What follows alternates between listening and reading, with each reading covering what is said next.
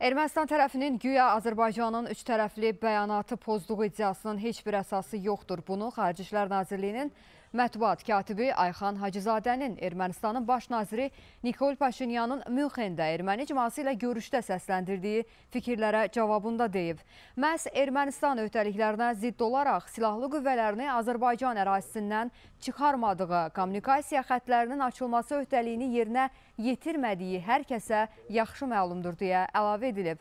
Bildirilib ki, Ermənistan tərəfi anlamalıdır ki, bölgədə sülh və sabitliyin təminatının yolu ərazi bütövlüyünün və suverenliyin təsdiq olunması və hörmət edilməsi əsasında qonşu ölkələrlə münasibətlərin qurulmasından və sülhün bərqərar olunması üçün Azərbaycanla birbaşa konstruktiv danışıqlardan keçir.